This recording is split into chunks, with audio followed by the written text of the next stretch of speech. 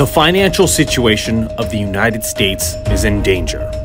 With the inflation rate continuing to climb, gas prices reaching new record highs, and multiple interest rate spikes in the near future, is the end of the middle class already happening? Many Americans already have witnessed what gold and silver can do for their hard earned savings. And many of those Americans have been turning to the Allegiance Gold executives to help preserve their wealth. To find out how you can preserve your wealth, call Allegiance Gold at 844 790 9191.